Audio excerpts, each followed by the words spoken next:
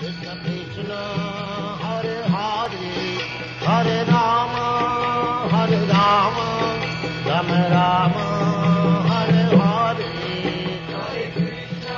now, Chapter 3 Birth of Lord Krishna.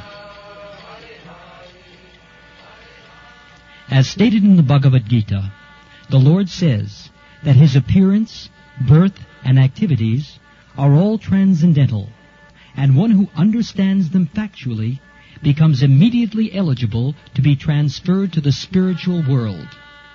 The Lord's appearance or birth is not like that of an ordinary man who is forced to accept a material body according to his past deeds. The Lord's appearance is explained in the second chapter. He appears out of his own sweet pleasure. When the time was mature for the appearance of the Lord, the constellations became very auspicious. The astrological influence of the star, known as Rohini, was also predominant because this star is considered to be very auspicious. Rohini is under the direct supervision of Lord Brahma. According to the astrological conclusion, besides the proper situation of the stars, there are auspicious and inauspicious moments due to the different situations of the different planetary systems. At the time of Krishna's birth, the planetary systems were automatically adjusted so that everything became auspicious. At that time, in all directions, east, west, south, north, everywhere, there was an atmosphere of peace and prosperity. There were auspicious signs visible in the sky, and on the surface, in all towns and villages, or pasturing grounds, and within the mind of everyone, there were signs of good fortune. The rivers were flowing full of waters, and lakes were beautifully decorated with lotus flowers. The forests were full with beautiful birds and peacocks. All the birds within the forests began to sing with sweet voices, and the peacocks began to dance along with their consorts. The wind blew very pleasantly, carrying the aroma of different flowers, and the sensation of bodily touch was very pleasing.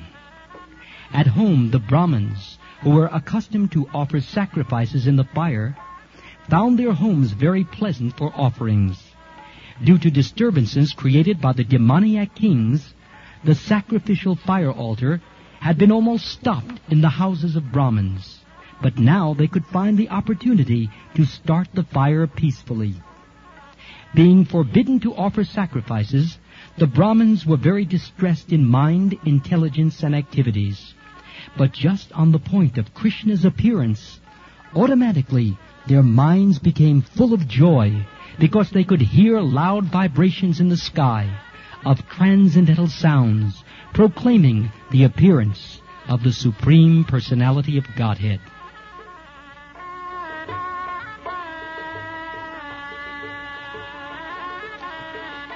The denizens of the Gandharva and Kinnara planets began to sing, and the denizens of Siddhaloka and the planets of the Charanas began to offer prayers in the service of the personality of Godhead. In the heavenly planets, the angels, along with their wives, accompanied by the Apsaras, began to dance. The great sages and the demigods, being pleased, began to shower flowers. At the seashore, there was the sound of mild waves, and above the sea, there were clouds in the sky which began to thunder very pleasingly. When things were adjusted like this, Lord Vishnu, who is residing within the heart of every living entity, appeared in the darkness of night as the Supreme Personality of Godhead before Devaki, who also appeared as one of the demigoddesses. The appearance of Lord Vishnu at that time could be compared to the full moon in the sky as it rises on the eastern horizon. The objection may be raised that, since Lord Krishna appeared on the eighth day of the waning moon, there could be no rising of the full moon. In answer to this, it may be said that Lord Krishna appeared in the dynasty which is in the hierarchy of the moon.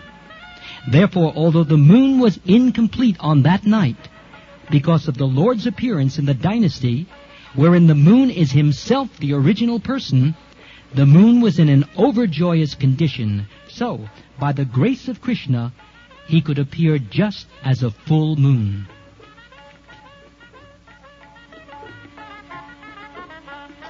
In an astronomical treatise by the name Kamanikya, the constellations at the time of the appearance of Lord Krishna are very nicely described. It is confirmed that the child born at that auspicious moment was the Supreme Brahman, or the Absolute Truth.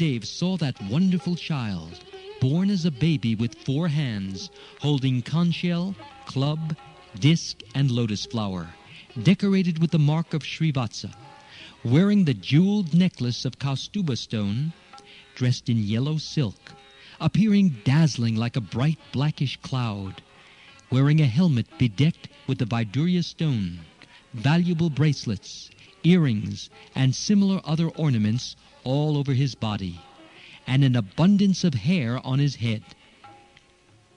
Due to the extraordinary features of the child, Vasudev was struck with wonder.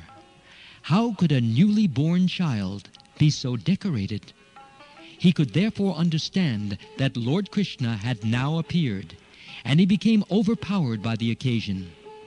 Vasudev very humbly wondered that although he was an ordinary living entity, conditioned by material nature, and was externally imprisoned by Kamsa, the all-pervading personality of Godhead, Vishnu or Krishna, was appearing as a child in his home, exactly in his original position.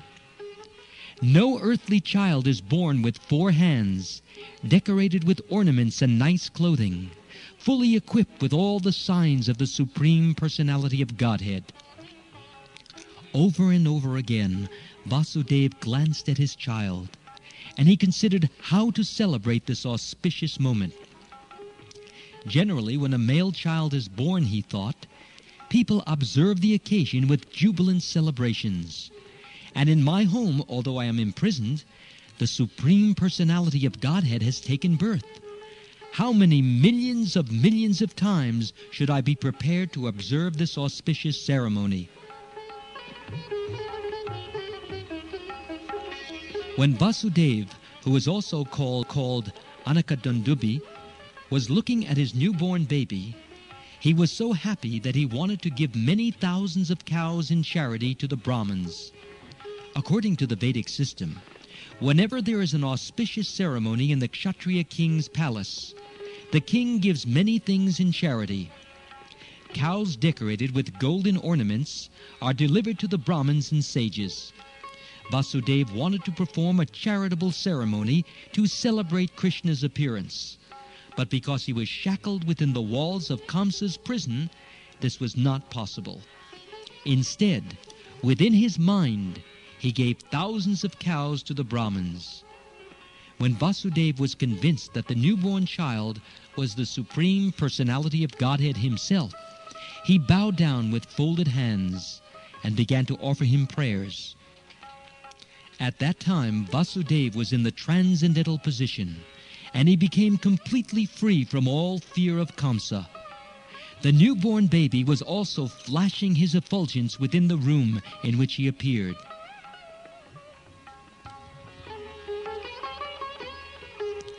Vasudev then began to offer his prayers. My dear Lord, I can understand who you are.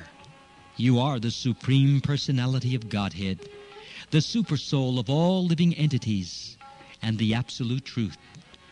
You have appeared in your own eternal form, which is directly perceived by us.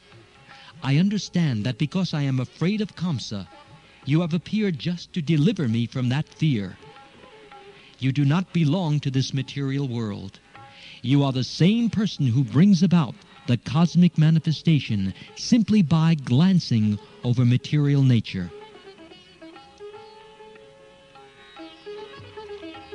One may argue that the Supreme Personality of Godhead, who creates the whole cosmic manifestation simply by his glance, cannot come within the womb of Devaki, the wife of Vasudeva. To eradicate this argument, Vasudeva said, My dear Lord, it is not a very wonderful thing that you appear within the womb of Devaki, because the creation was also made in that way. You are lying in the causal ocean as Mahavishnu, and by your breathing process, innumerable universes came into existence. Then you entered into each of the universes as Garbhodakshayi Vishnu. Then again you expanded yourself as Kshirodakshayi Vishnu and entered into the hearts of all living entities, and entered even within the atoms.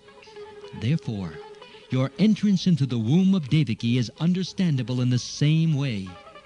You appear to have entered, but you are simultaneously all pervading. We can understand your entrance and non entrance from material examples. The total material energy remains intact even after being divided into 16 elements. The material body is nothing but the combination of the five gross elements, namely earth, water, fire, air, and ether. Whenever there is a material body, it appears that such elements are newly created, but actually the elements are always existing outside of the body. Similarly, although you appear as a child in the womb of Devaki, you are also existing outside. You are always in your abode, but still you can simultaneously expand yourself into millions of forms.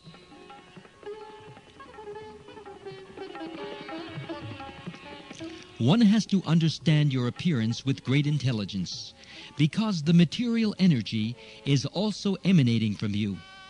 You are the original source of the material energy, just as the sun is the source of the sunshine. The sunshine cannot cover the sun globe, nor can the material energy, being an emanation from you, cover you. You appear to be in the three modes of material energy, but actually, the three modes of material energy cannot cover you. This is understood by the highly intellectual philosophers. In other words, although you appear to be within the material energy, you are never covered by it.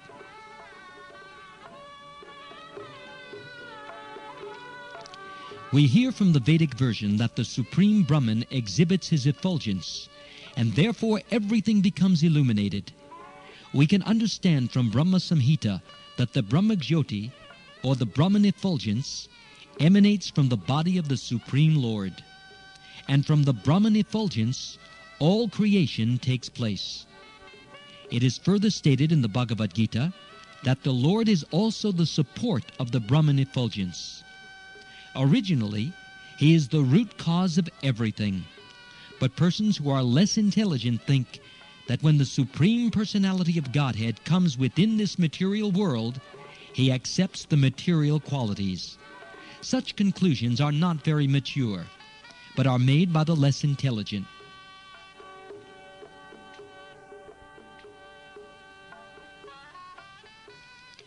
The Supreme Personality of Godhead is directly and indirectly existing everywhere. He is outside this material creation, and He is also within it. He is within this material creation not only as Garbhodakshayi Vishnu, He is also within the atom, Existence is due to His presence. Nothing can be separated from His existence. In the Vedic injunction, we find that the Supreme Soul, or the root cause of everything, has to be searched out because nothing exists independently of the Supreme Soul. Therefore, the material manifestation is also a transformation of His potency. Both inert matter and the living force the soul, are emanations from Him. Only the foolish conclude that when the Supreme Lord appears, he accepts the conditions of matter.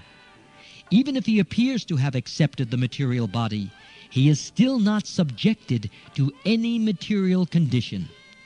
Krishna has therefore appeared and defeated all imperfect conclusions about the appearance and disappearance of the Supreme Personality of Godhead.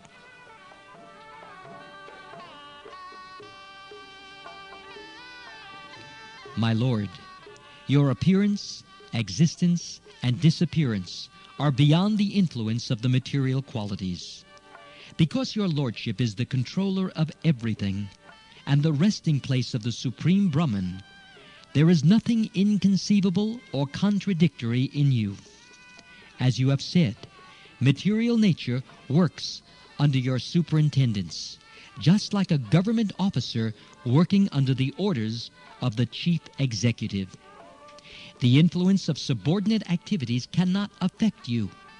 The Supreme Brahman and all phenomena are existing within you, and all the activities of material nature are controlled by your Lordship.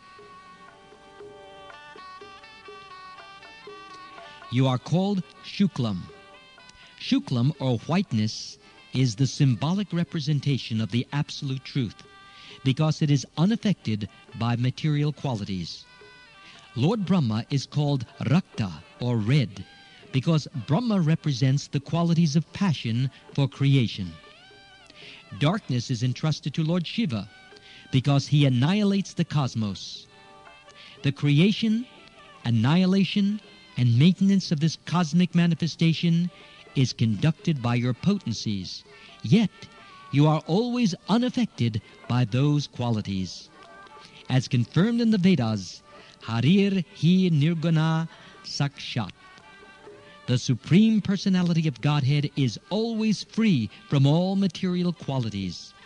It is also said that the qualities of passion and ignorance are non existent in the person of the Supreme Lord.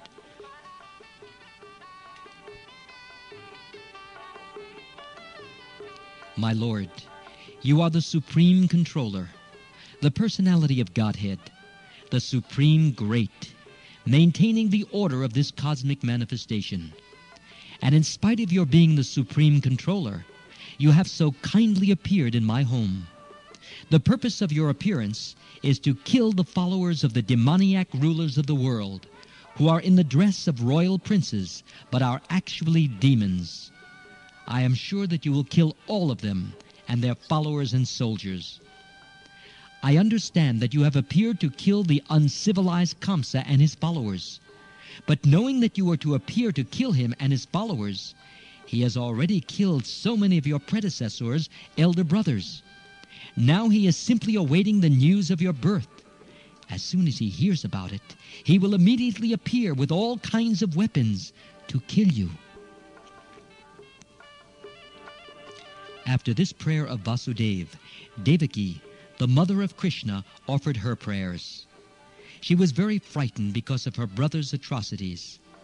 Devaki said, My dear Lord, your eternal forms like Narayan, Lord Ram, Hayashirsha, Varaha, Nrisingha, Vaman, Baladev, and millions of similar incarnations emanating from Vishnu are described in the Vedic literature as original. You are original because all your forms as incarnations are outside of this material creation. Your form was existing before this cosmic manifestation was created. Your forms are eternal and all pervading. They are self effulgent, changeless, and uncontaminated by the material qualities. Such eternal forms are ever cognizant and full of bliss. They are situated in transcendental goodness and are always engaged in different pastimes. You are not limited to a particular form only. All such transcendental eternal forms are self sufficient. I can understand that you are the Supreme Lord Vishnu.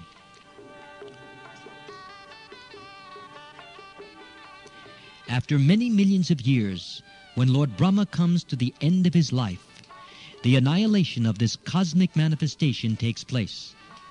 At that time, the five elements, namely earth, water, fire, air, and ether, enter into the Mahatattva. The Mahatattva again enters by the force of time into the non manifested total material energy. The total material energy enters into the energetic pradhan, and the pradhan enters into you.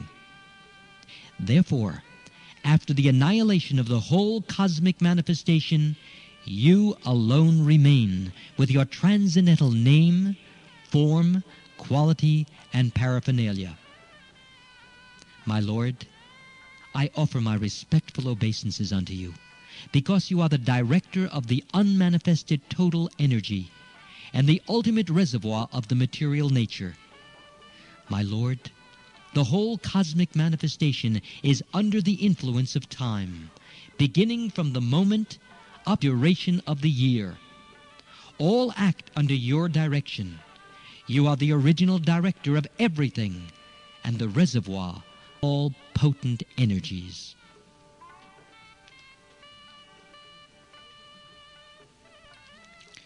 All the conditioned souls are continually fleeing from one body to another and one planet to another. Yet they do not get free from the onslaught of birth and death. But when such a fearful living entity comes under the shelter of your lotus feet, he can lie down without anxiety of being attacked by formidable death. This statement by Devaki is confirmed in the Bhagavad Gita by the Lord himself. There, the Lord says that even after traveling all over the universe, from Brahmaloka to Patalaloka, one cannot escape the attack of birth, death, disease, and old age. But one who enters the kingdom of God, the Lord says, is never again obliged to come to this material world. Devaki continued, Therefore, my Lord, I request you to save me from the cruel hands of the son of Ugrasen, Kamsa. I am praying to your lordship to please rescue me from this fearful condition, because you are always ready to give protection to your servitors. The Lord has confirmed this statement in the Bhagavad Gita by assuring Arjuna, You may declare to the world, My devotee shall never be vanquished.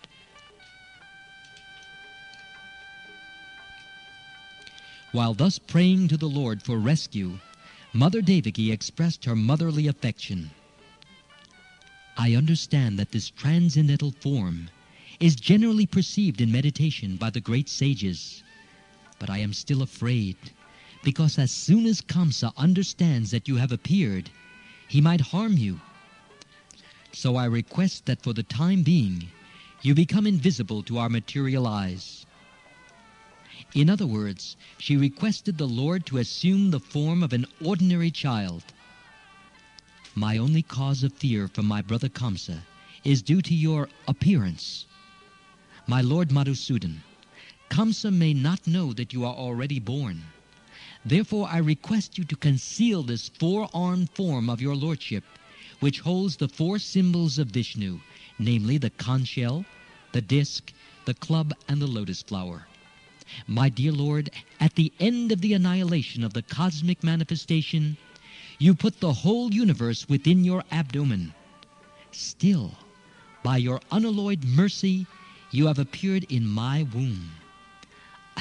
I am surprised that you imitate the activities of ordinary human beings just to please your devotee.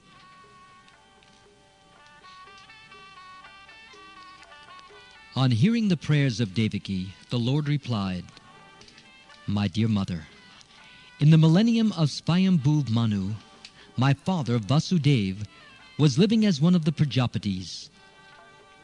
His name at that time was Sutapa, and you are his wife named Prishni.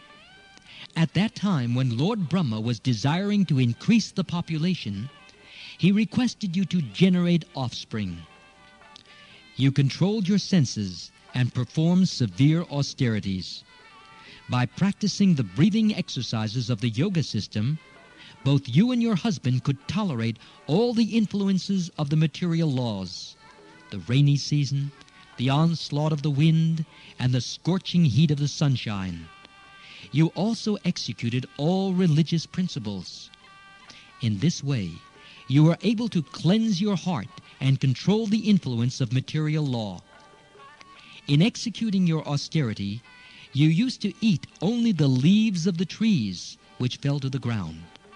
Then, with steady mind and controlled sex drive, you worshiped me, desiring some wonderful benediction from me.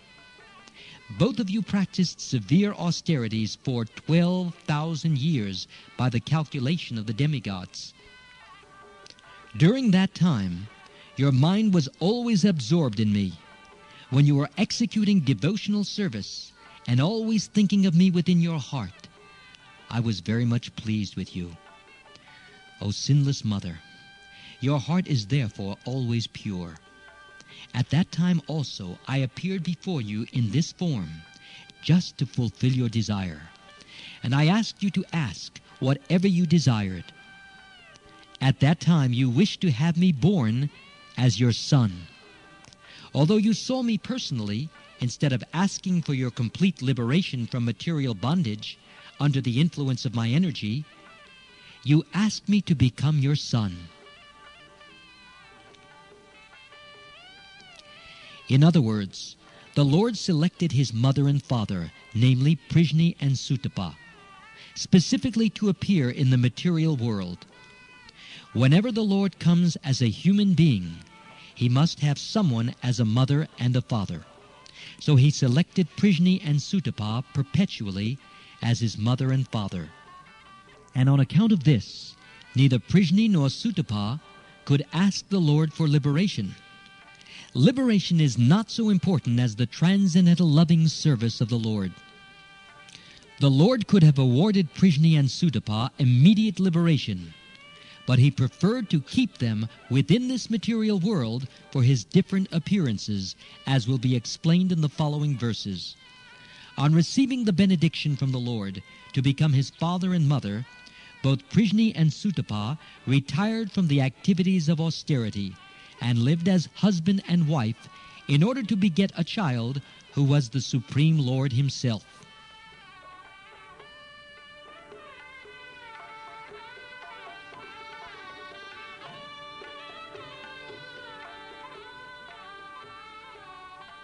In due course of time, Prishni became pregnant and gave birth to the child. The Lord spoke to Devaki and Vasudev. At that time, my name was Prishni Garbha. In the next millennium also, you took birth as Aditi and Kashyap, and I became your child of the name Upendra. At that time, my form was just like a dwarf, and for this reason I was known as Vamandev. I gave you the benediction that I would take birth as your son three times. The first time I was known as Prishni Garbha, born of Prishni and Sutapa. The next birth I was Upendra, born of Aditi and Kashyap. And now, for the third time, I am born as Krishna from you, Devaki and Vasudev. I appeared in this Vishnu form just to convince you that I am the same Supreme Personality of Godhead again taken birth. I could have appeared just like an ordinary child, but in that way you would not believe that I, the Supreme Personality of Godhead, have taken birth in your womb. My dear father and mother, you have therefore raised me many times as your child, with great affection and love, and I am therefore very pleased and obliged to you. And I assure you that this time you shall go back home, back to Godhead, on account of your perfection in your mission. I know you are very concerned about me and afraid of Kamsa. Therefore, I order you to take me immediately to Gokul and replace me with the daughter who has just been born to Yashoda.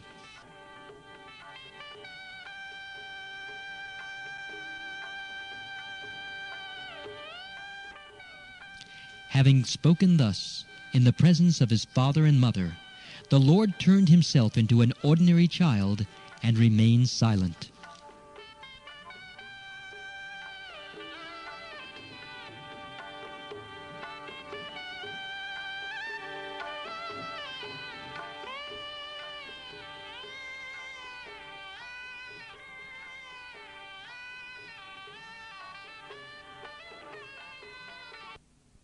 Ordered by the Supreme Personality of Godhead, Vasudeva attempted to take his son from the delivery room. And exactly at that time, a daughter was born of Nanda and Yashoda. She was Yogamaya, the internal potency of the Lord. By the influence of this internal potency, Yogamaya, all the residents of Kamsa's palace, especially the doorkeepers, were overwhelmed with deep sleep.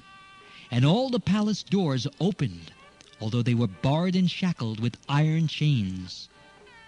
The night was very dark, but as soon as Vasudev took Krishna on his lap and went out, he could see everything just as in the sunlight.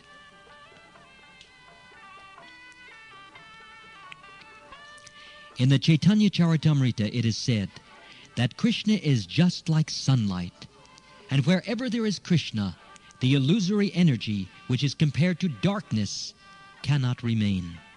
When Vasudeva was carrying Krishna, the darkness of the night disappeared. All the prison doors automatically opened.